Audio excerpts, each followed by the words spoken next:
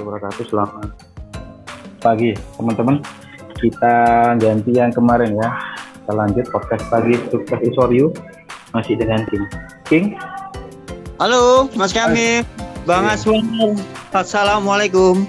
Waalaikumsalam warahmatullahi wabarakatuh. Ayo berdoa dulu yuk. Sebelum kita memulai podcast paginya. Monggo, King. A'udzu billahi minasyaitonir rajim. Bismillahirrahmanirrahim. Allahumma sholli ala sayyidina Muhammad wa ala ali sayyidina Muhammad. Alhamdulillahirabbil alamin. Allahumma alhimna marasyida umurina wa a'idna min syururi anfusina wa min sayyiati a'malina. Al-Fatihah. Alhamdulillah, minasyaitonir rajim. Alhamdulillah. Rasulullah. Ya, Ya belajar. Halo Pak Cing. Assalamualaikum. Bang Aswan. Aduh. Oke. udah belajar jadi penyaksi nih. Masa? Iya, tapi yang dilihat masih eh, apa King? Ayo King. Ah, yang dilihat masih apa namanya?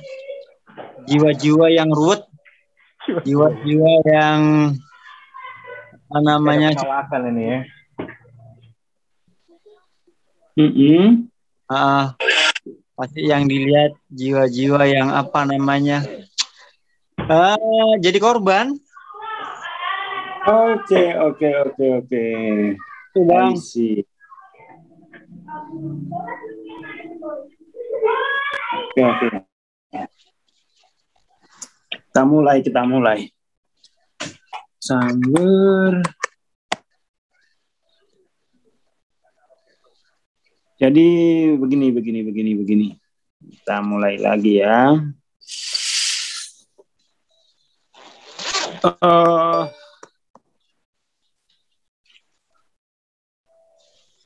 Ntar saja ini harus Ntar ya saya cariin jurnalnya dulu biar King bisa download. belajar jurnal ya. Saya belajar pinter King. Masih gak kuliah. King dipelajari jurnal jurnal.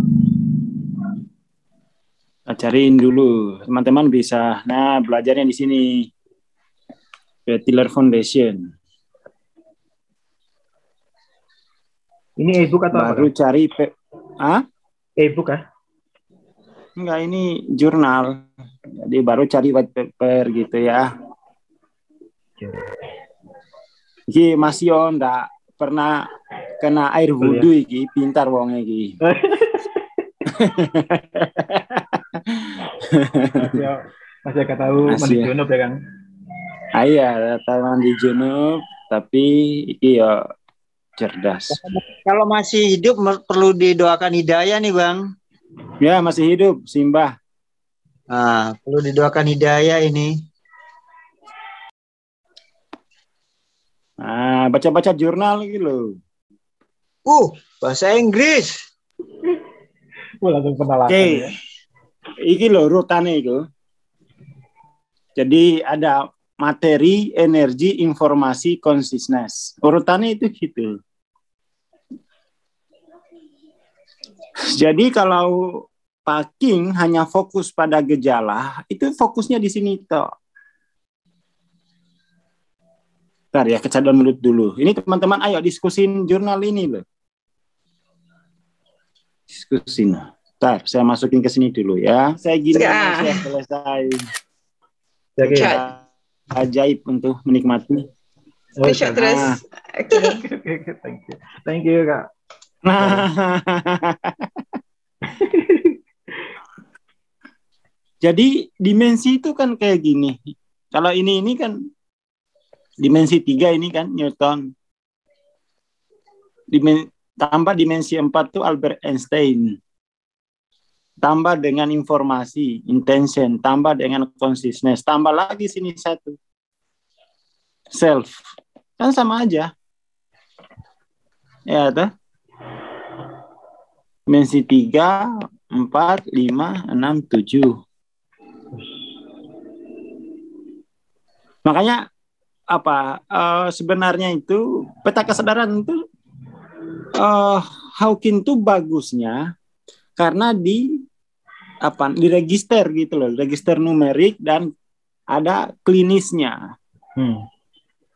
Bagusnya Hawking itu. Tapi di ilmuwan-ilmuwan lain eh juga membahas juga membahas hal-hal yang sama dengan pendekatan kalau yang ini kan pendekatan fisika ini gitu. Dia model gitu. Dia bawa ke dalam persamaan justru ini udah dijadikan rumus bersama ada persamaannya gitu. Ada persamaannya. Terus ada problematik gitu kan. Terus consciousness inclusive science. Jadi consciousness itu sebagai inclusive science, bukan eksklusif. Hmm.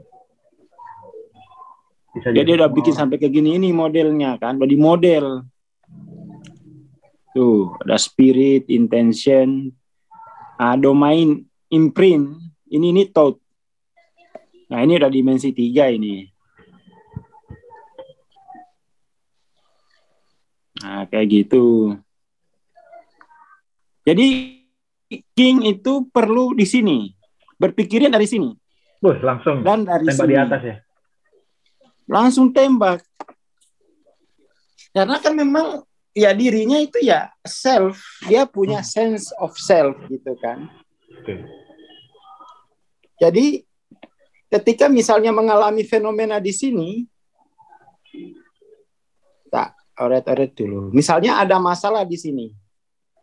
Di sini kan sudah ada polanya gitu, baik pola psikologis, pola perilaku aja wes, eh, ya pola psikis. Yo misalnya pola katakanlah pola kimiawinya ada gitu ya. Atau pola sosiologisnya ada.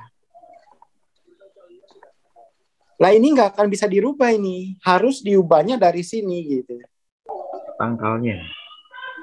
Nah untuk mengubah ini dia harus punya legal standing di sini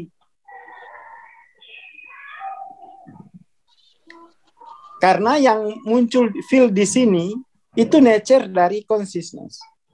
Jadi energi itu sebenarnya adalah bentuk lain dari nature of consciousness gitu.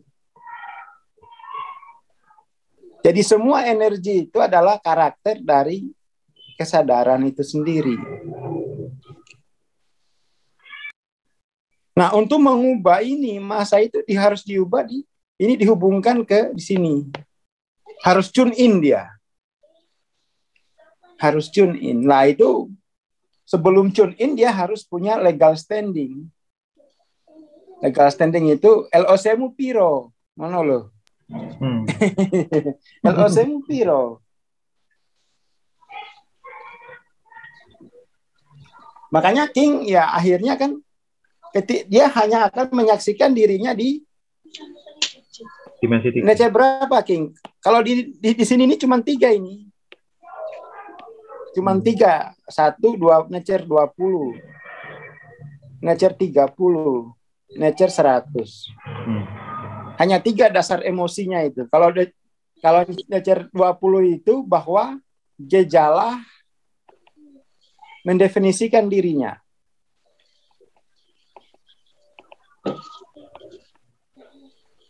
Artinya gejala sama dengan diri kan gitu. Hmm. Itu paling dasar itu. Kalau 30 gejala itu disesali sebagai akibat dari kesalahan dirinya. Ini karena aku begini, karena begini. Kayaknya King gitu ya. Hmm. Ya bang itu Wah, sudah karena aku bodoh karena aku nggak punya ilmu karena aku tinggal di Surabaya. Coba kalau tinggal di Israel. Hai. Tertawanya Mas Cami ah, waduh. Kalau ini saya lihat itu di 30-nya banyak. Ya kan? Jadi kamu melakukan kesalahan ini pasti karena kesalahan itu. Sebuah kesalahan.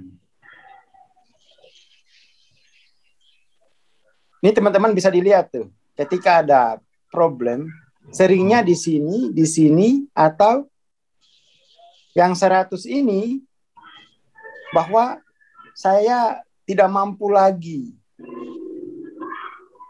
Saya sudah tidak mampu melanjutkan gitu ya. Sudah terancam dia. Saya eh, rasa-rasanya itu sudah nggak kuat gitu. Menjalani proses seperti ini lagi besok lagi ada keterancaman gitu. Mau angkat bendera putih ya? Iya. Bukan tangan. Seperti itu. Nah ini uh, dan ini jangan ditolak ini hanya nature ini hanya kalau legal standingmu di sini tidak bisa mengubah. Legal standingmu 400 saja itu belum bisa mengubah. Nanti mungkin harus legal standingnya itu. Jadi setiap legal standing itu punya caranya sendiri untuk mentransformasi, untuk menghasilkan energi. Begitulah kira-kira.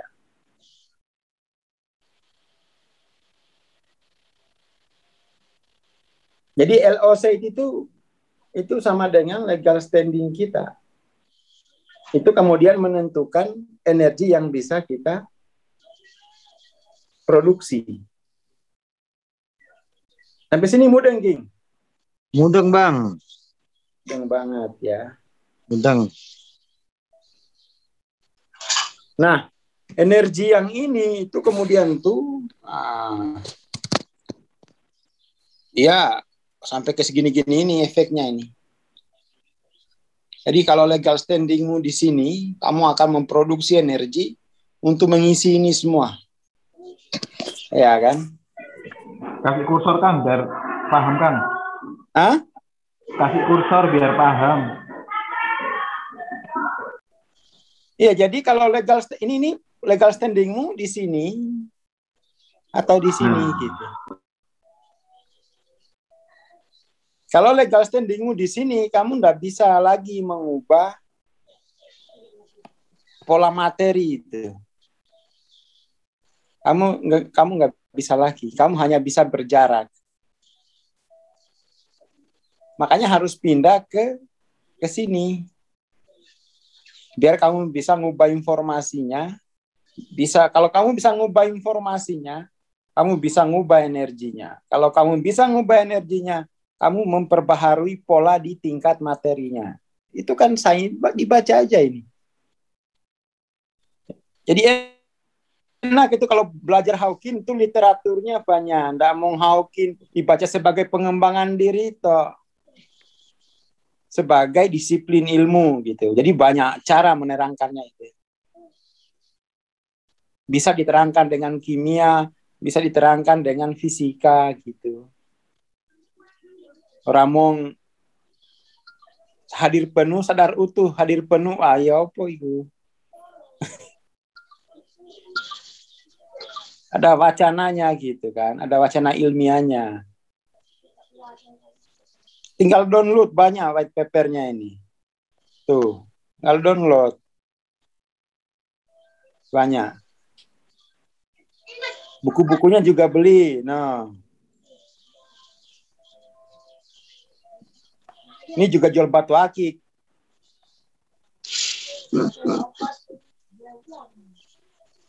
Nih beli dibeli. Seperti itu. Saya udah punya ini.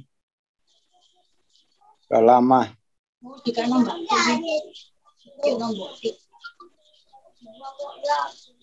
Jadi pertanyakan legal standingmu gitu. Kalau kamu bertanya dari legal standing, kamu mulai berpikir dari tingkat sel. Mulai dari sini. Lalu kamu pada akhirnya menemukan dirimu di nature-nature lemah ini. Ya, toh? Pertanyaannya bagaimana melampauinya? Kan gitu. Jadi setelah memahami ini, kamu bertanya nggak usah hiraukan, nggak usah dipikirin ininya itu. Nggak usah dipikirin. Ini kan sama dengan model yang ini loh, King. Ini kan sama aja ini. Saya modelin. Jadi bikin model yang ini. Sebentar. Ya, dicari-cari. Ah, sama ini. Ya kan? Empat itu ener empat energi, lima informasi, enam consciousness, tujuh sel. Saya kan ngambilnya dari sini nih.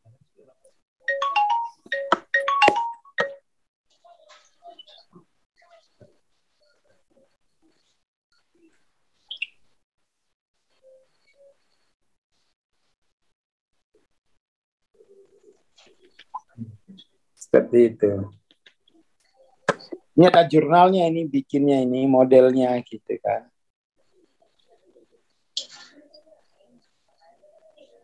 Kayak gitu. Jadi teman-teman uh, apa ya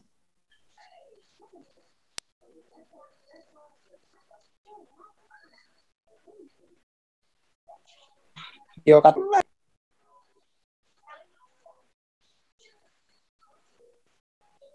Ya jadi itu ya. Jadi udahlah nggak usah mikirin ime akibat itu.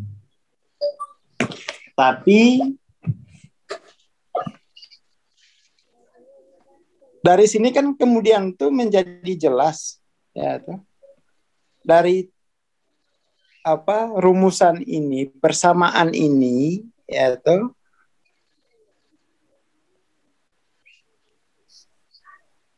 Ini kan menjadi jelas ini. Kalau pakai legal standing linier, kalau legal standing linier, kamu nggak bisa mengubah apa materi. Kamu hanya bisa mengamati. Jadi kalau legal standingmu linier, linier itu sampai sini dah. ya sudah, kamu hanya bisa, oh iya ya energinya hanya bisa menghitung, hanya bisa menghitung jejak energi itu, tapi kamu tidak bisa memproduksi energi baru. Kenapa? Enggak punya informasi. Kenapa? Kamu punya informasi juga, kamu baca doa macam-macam begitu ya, nggak manjur. lah kenapa? Kamu ndak salah duduknya. Legal standingmu nggak ada. Kan banyak begitu. Baca doa punya informasi. Doa sapu jagat, doa sapu bumi, doa sapu awan. Ya. doa. Lagi-lagi kembali ke legal standingmu di mana. Terus legal stand dengan punya legal standing kamu menjadi mengerti oh saya harus produksi doa untuk membebaskan dia dari nature ini. Karena di sini itu dari sini. Tapi kalau di sini kan masih nature ya menjadi informasi menjadi energi ah, menjadi mat, memadat ya penyakit semua di sini. Itu dipelajari, energinya segini dikasih di, kemudian dikontrol ya. Seperti itu. Dicarikan antinya tapi di level energi. Tidak bisa mentransform ini karena itu dibutuhkan informasi besar. Artinya dia harus untuk informasi itu nature-nya berapa dan legal standing-nya apa. Jadi untuk mengubah yang sudah jadi itu untuk dijadikan potensi, nah, itu yang bisa membuat fakta menjadi kembali menjadi potensi itu makhluk spiritual yang punya legal standing di dimensi tujuh. Kalau enggak, nah, kalau enggak duduk di situ enggak bisa. Seperti itu. Gitu ya King ya.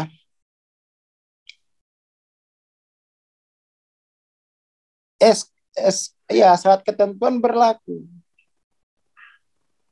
Saat ketentuan berlaku. Makanya belajar-belajar pengembangan diri hanya sampai level 4. Praktek, macam-macam. Mendingan tuh cari makom. Legal standing lo ambil makom. Kalau sudah bermakom itu sudah punya legal standing dia. Agak berat itu kalau nggak punya makom, nggak punya legal standing.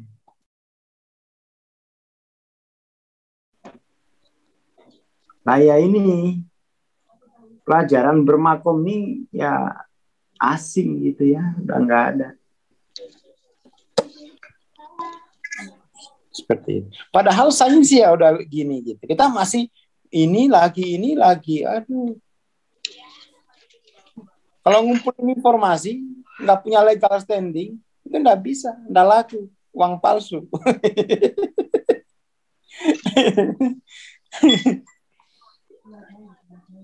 Mungkin uang asli, tapi salah posisi. Dipakai di Arab. Pakai uang rupiah. Rapayu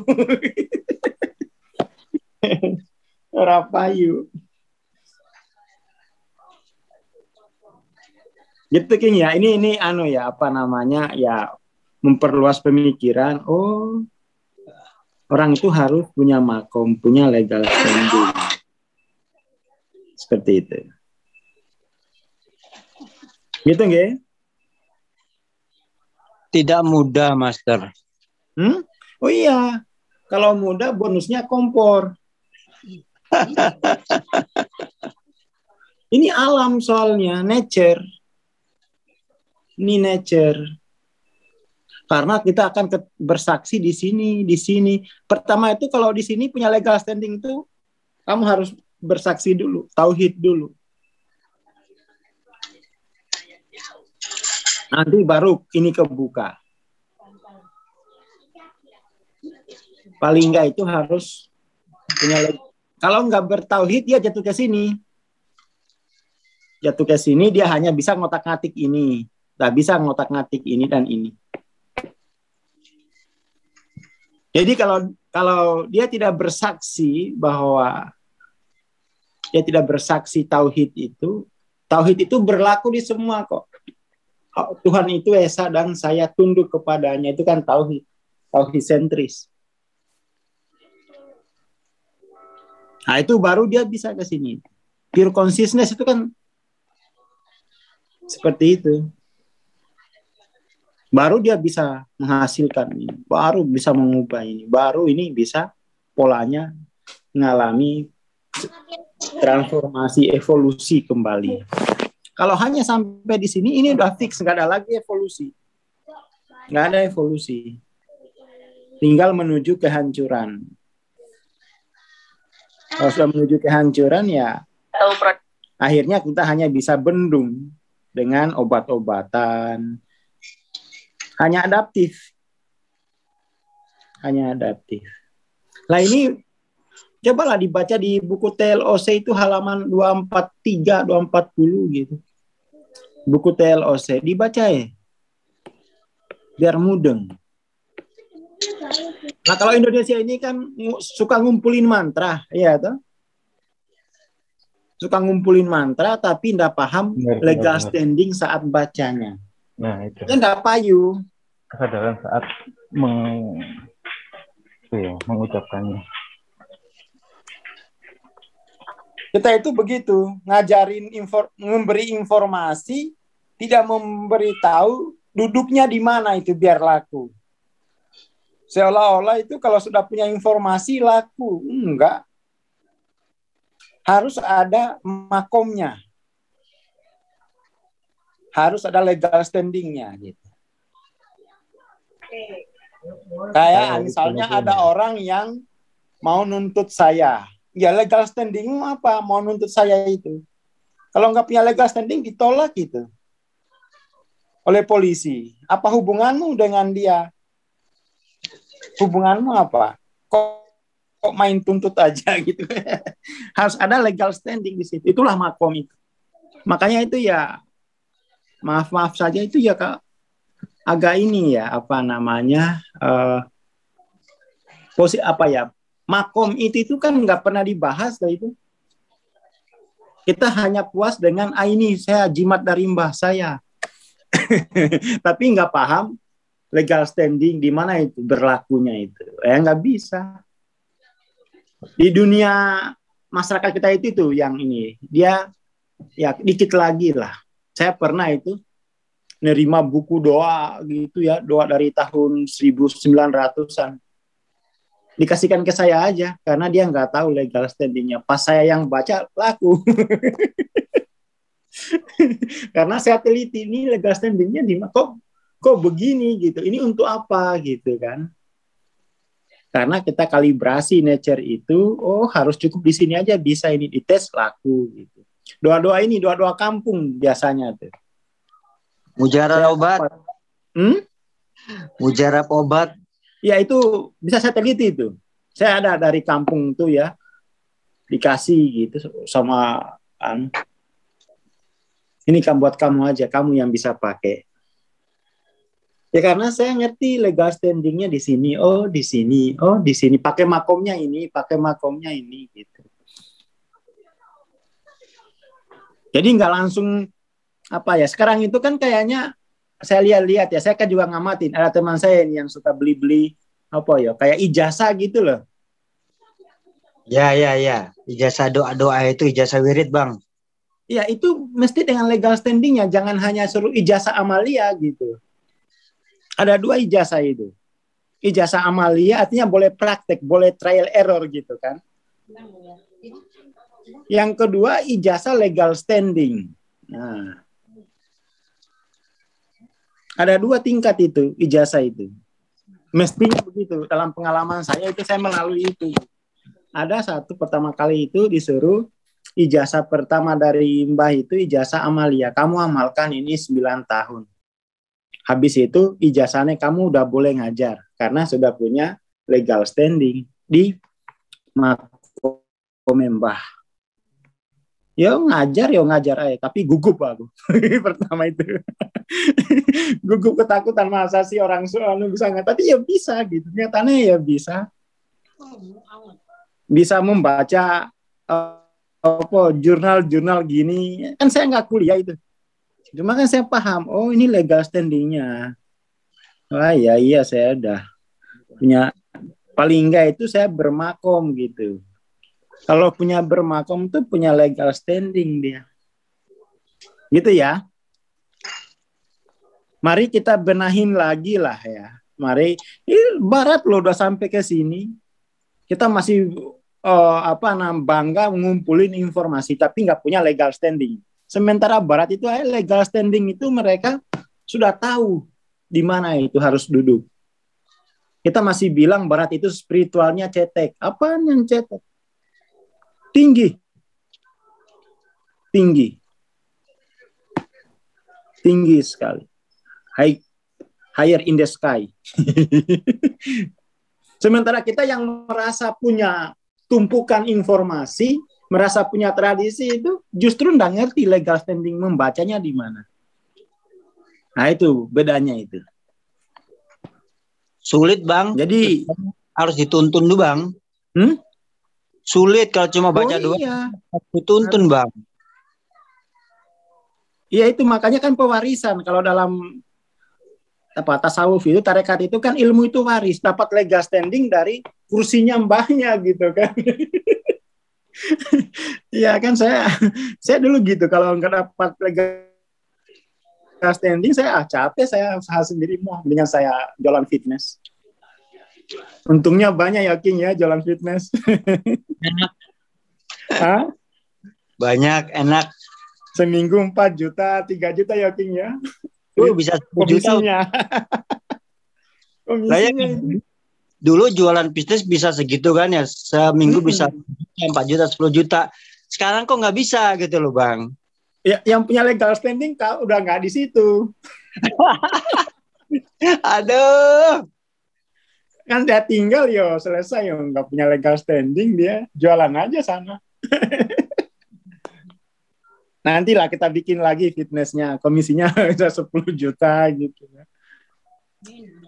Cari-cari ini dulu cari modal dulu biar rapi. Soalnya kan di boy tahu sendiri di boykot di Surabaya nggak boleh ngambil barang saya.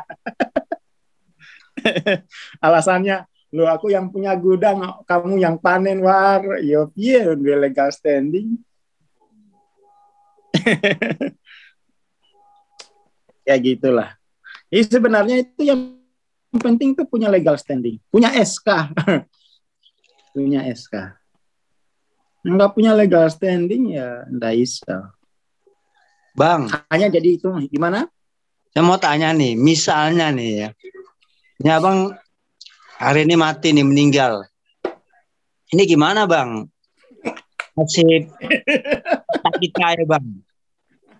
Iya iya Lah kok dongane ngono. Soalnya golongan pewaris ya ya King ya. Kalau cuma baca doang, itu tahu dan paham. Tapi kan belum tentu bisa ngalamin bang. iya nggak punya legal untuk bisa itu harus punya legal standing dia Nah, ini yang bisa ngebimbing tuh kan baru abang doang nih. Kalau hari ini abang meninggal, itu gimana nasib kita kita bang? iya ada Allah Ya benar-benar. Masih ada ada Allah lagi. Allah Wes.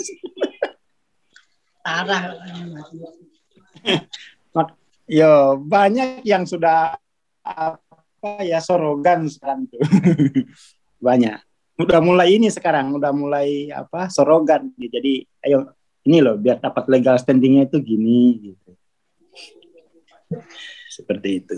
Oke lah ya, ini nanti ya di sebelah ada kelas lagi, matur nuwun. Dibaca jurnalnya ya. Jadi saya bikin-bikin model itu itu kalau di ini saya ada ininya baca baca jurnal. Saya house jurnal saya. Jadi bukan asal bikin model gitu ya. Nggak ada dasarnya gitu.